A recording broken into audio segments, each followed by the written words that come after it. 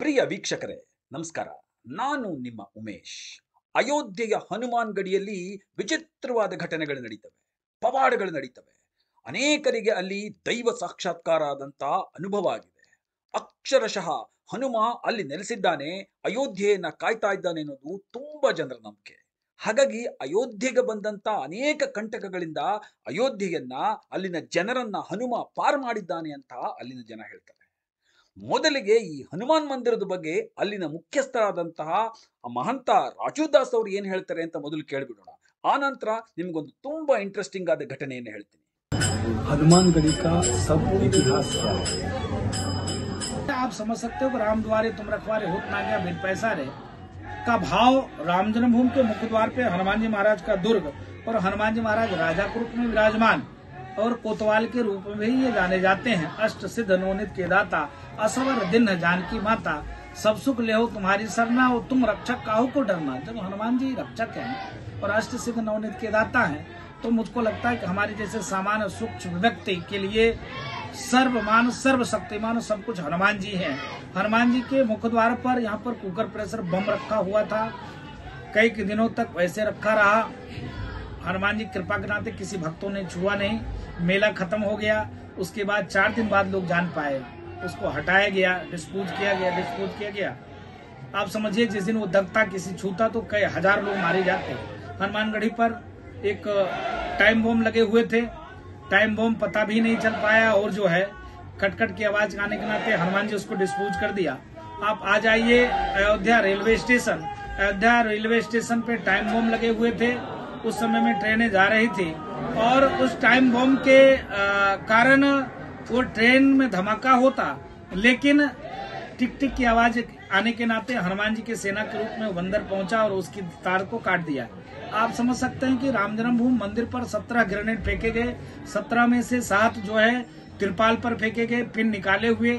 जब वहाँ बम दस्ता पहुंचा है उसको डिस्प्यूज करने के लिए तो कई लोग घायल हो गए तो राम प्रताप है राम नाम का प्रभाव से हनुमान जी भक्तों का कल्याण करते हैं सेवा करते हैं जब हनुमान जी रक्षक हैं तो फिर काहे की चिंता ಅದು ಹತ್ತೊಂಬತ್ ನೂರ ತೊಂಬತ್ತೆಂಟರಲ್ಲಿ ನಡೆದಂತಹ ಒಂದು ಅಪರೂಪದ ಘಟನೆ ಹನುಮಾನ್ ಗಡಿ ಅಯೋಧ್ಯೆಯ ಹೊರವಲಯದಲ್ಲಿದೆ ಯಾರೇ ಅಯೋಧ್ಯೆಗೆ ಹೋದ್ರೂ ಮೊದಲು ಹನುಮಾನ್ ಗಡಿಯಲ್ಲಿ ಹನುಮನ ದರ್ಶನ ಪಡೆದು ಆನಂತರ ಉಳಿದ ಸ್ಥಳಗಳಿಗೆ ಭೇಟಿ ಮಾಡ್ತಾರೆ ಅವತ್ತು ಅಯೋಧ್ಯೆಯಲ್ಲಿ ಎಲ್ಲವೂ ನಾರ್ಮಲ್ ಆಗಿತ್ತು ಹನುಮಾನ್ ಗಡಿಯ ಆವರಣದಲ್ಲಿ ಒಂದು ಚೌಕಾಕಾರದ ನೀರಿನ ಟ್ಯಾಂಕ್ ಇತ್ತು.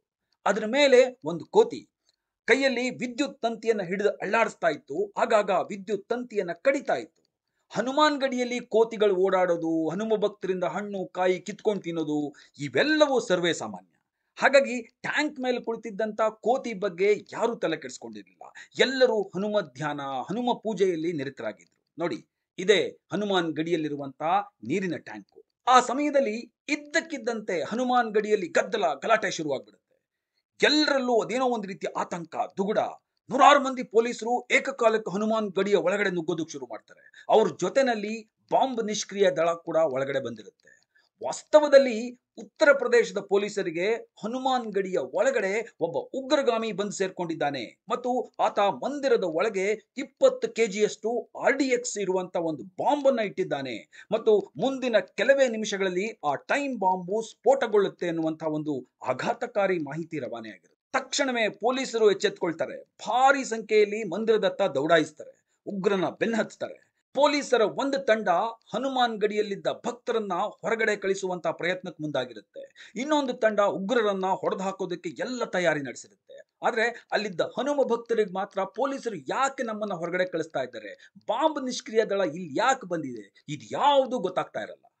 ಕೆಲವೇ ನಿಮಿಷಗಳಲ್ಲಿ ಪೊಲೀಸರು ಮಂದಿರದ ಆವರಣದಲ್ಲಿದ್ದಂತ ಆ ಉಗ್ರಗಾಮಿಯನ್ನ ಪತ್ತೆ ಹಚ್ಚಿಬಿಡ್ತಾರೆ ಉಗ್ರಗಾಮಿಯನ್ನ ಹಿಂಬಾಲಿಸಿ, ಆತನ ಮೇಲೆ ಗುಂಡು ಹಾರಿಸಿ ಅವನ್ನ ಗಾಯಗೊಳಿಸ್ತಾರೆ.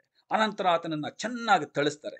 ಪೊಲೀಸರ ಹೊಡೆತಕ್ಕೆ ಉಗ್ರ, ತಾನು ಟೈಮ್ ಬಾಂಬ್ ಒಂದನ್ನ ನೀರಿನ ಟ್ಯಾಂಕ್ ಒಳಗಡೆ ಇಟ್ಟಿದ್ದೀನಿ.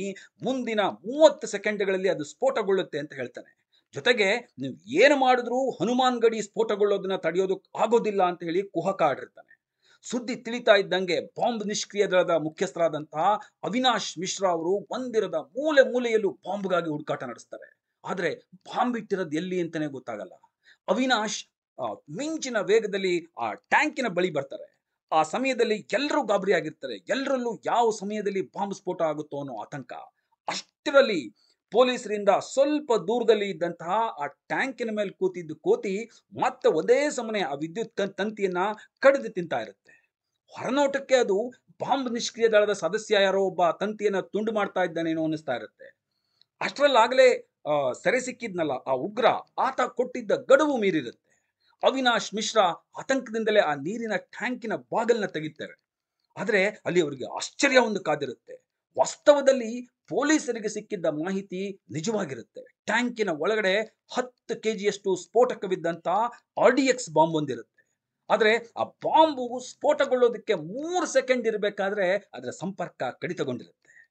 ಟ್ಯಾಂಕಿನ ಮೇಲೆ ಕುಳಿದಂತಹ ವಾನರ ತನ್ನ ಹಲ್ಲುಗಳಿಂದ ಆ ಸ್ಫೋಟಕದ ತಂತಿಯನ್ನ ಕತ್ತರಿಸಿ ಹಾಕಿರ್ತಾನೆ. ಬಾಂಬ್ ಸ್ಫೋಟ ಆಗೋದಕ್ಕೆ ಮೂರು ಸೆಕೆಂಡ್ ಇದ್ದಾಗ ಆ ಟೈಮರ್ ನಿಂತು ಹೋಗಿರುತ್ತೆ. ಹಾಗಾಗಿ ಬಾಂಬ್ ಸ್ಫೋಟಗೊಂಡಿರಲ್ಲ. ಅಲ್ಲಿದ್ದ ಎಲ್ಲರಿಗೂ ಆಶ್ಚರ್ಯನೋ ಆಶ್ಚರ್ಯ. ಅವತ್ತು ಹನುಮಾನ್ ಗಡಿಯನ್ನ ಕಾಯ್ತಾ ಇದ್ದ ವಾನರ ಬಾಂಬ್ ಸ್ಫೋಟಗೊಂಡು ಉಂಟಾಗಬಹುದಾದಂತಹ ಒಂದು ದೊಡ್ಡ ಅನಾಹುತವನ್ನ ತಪ್ಪಿಸಿರ್ತಾನೆ. ಈ ಅಪಾಯದಿಂದ ನಮ್ಮನ್ನ ಪಾರು ಮಾಡಿದ್ ಯಾರು ಅಂತ ಜನ ತಿರುಗಿ ನೋಡುವಷ್ಟರಲ್ಲಿ ಆ ವಾನರ ಹನುಮಾನ್ ಗಡಿಯ ಗೋಪುರವನ್ನ ಏರಿ ಮೇಲ್ಗಡೆ ಕುಳಿತಿರ್ತಾನೆ. ಇದಲ್ಲದೆ ಇಂತಹ ಮತ್ತಷ್ಟು ಕಂಟಕಗಳಿಂದ ಅಯೋಧ್ಯೆಯನ್ನು ಪಾರ್ ಮಾಡಿದ್ದಾನೆ ಹನುಮ. ಪ್ರಿಯ ವೀಕ್ಷಕರೇ, ಎಲ್ಲಿ ರಾಮ ಇರ್ತಾನೋ ಅಲ್ಲಿ ಹನುಮ ಇರಲೇಬೇಕಲ್ವಾ? ಇಂತಹ ಅನೇಕ ಕುತೂಹಲದ ಘಟನೆಗಳು ಈ ಹೊಸ ಪುಸ್ತಕದಲ್ಲಿ ದಾಖಲಾಗಿದೆ. ಅಯೋಧ್ಯ, ಇದು ರಾಮನ ಇತಿಹಾಸವಲ್ಲ, ರಾಮ ಮಂದಿರದ ಇತಿಹಾಸ ಅನ್ನೋ ಪುಸ್ತಕ. ಮುಂದಿನ ಎರಡು ದಿನಗಳಲ್ಲಿ ಈ ಪುಸ್ತಕ ಬಿಡುಗಡೆಗೊಳ್ತಾ ಇದೆ. ದಯವಿಟ್ಟು ನಿಮ್ಮ ಕಾಪಿಗಳನ್ನ ರಿಸರ್ವ್ ಮಾಡಿ. ಹಾಗೆ ನಮ್ಮ ಧಾತ್ರಿ ಕ್ರಿಯೇಷನ್ಸ್ ಯೂಟ್ಯೂಬ್ ಚಾನಲ್ಗೆ ಸಬ್ಸ್ಕ್ರೈಬ್ ಮಾಡಿ. ನಮಸ್ಕಾರ.